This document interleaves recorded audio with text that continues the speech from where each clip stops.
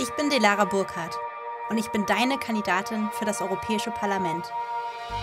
Ich will die Stimme einer Generation sein, die selbstverständlich in einem geeinten Europa aufgewachsen ist. Wir arbeiten, leben und lieben europäisch. Aber gerade wird klar, dass all das nicht selbstverständlich ist.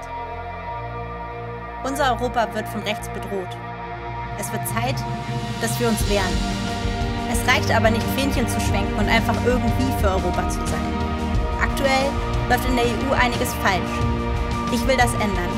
Ich will, dass unsere Generation eine neue europäische Vision aufbaut. Ich will ein Europa, das die Freiheit schützt. Im Internet und überall sonst. Ein Europa, das auf seine junge Generation hört und richtig beim Klimawandel anpackt. Ein Europa, das es nicht länger hinnimmt, dass Menschen im Mittelmeer ertrinken und dafür eine große Seenotrettungsaktion startet. Ein Europa, in dem für die Allgemeinheit gewirtschaftet wird und Großkonzerne ihre Gewinne nicht in irgendwelchen Steueroasen parken können. Ein Europa, das Frieden und Demokratie statt Waffen in die Welt exportiert. Wenn du das auch willst, dann wähle am 26. Mai die SPD und schicke mich ins Europäische Parlament.